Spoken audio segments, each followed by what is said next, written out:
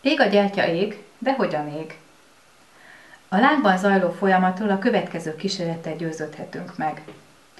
Tartsunk hideg fémet, például egy kanalat a láng fölé, és figyeljük meg az égéskor keletkező víz, hogyan csapódik le rá. Kisé párás lett. Ha a kanalat a sárga tartomány közepébe tesszük,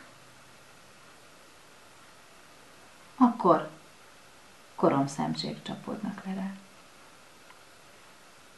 Össze lehet sok-sok kormot gyűjteni.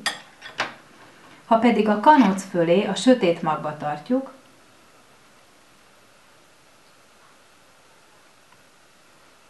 akkor a még el nem égett szénhidrogének csapódnak le rá, és vékony viaszréteggel vonják be.